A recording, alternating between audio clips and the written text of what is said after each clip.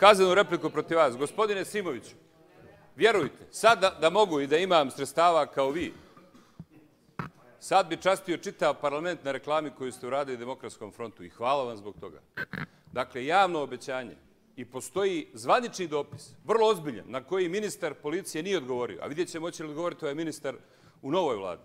Ja sam se zvanično obratio sa ustavnim osnovom da se Demokratska partija socijalista zabrani kao kriminalna organizacija koja na organizovani i sistematizovani način krade izbore, prikuplja podatke o ličnostima mimo njihovog odobrenja, zloupotrebljava službe bezbjednosti, državne resurse, švercuje i prljavim parama kupuje ljude i obezbjeđuje takozvane izborne pobjede. To je zvanični zahtjev građanina Crne Gore po ustavu Crne Gore, na koji mi nije odgovorio ni bivši ministar unutrašnjih pobjeda, Nije smio.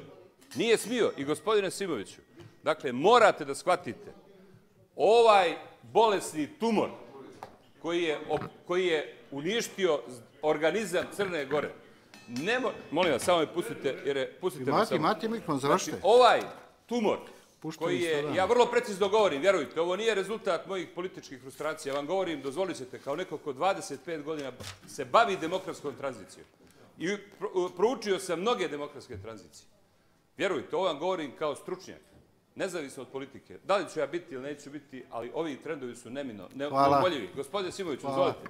Znači, Crna Gora je zarobljena od strane jednog tumora koji ne može da se popravi ulaskom u taj kancerogeni mehanizam. Samo hiruškom intervencijom, hemoterapijom i oporavkom uz monitoring, uz hemoterapiju, rekao sam, i zračenje.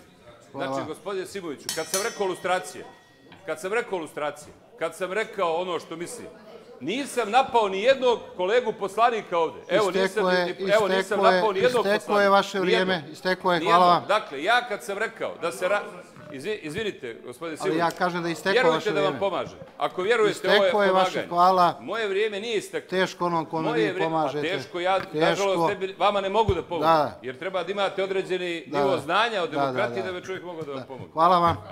Hvala vam.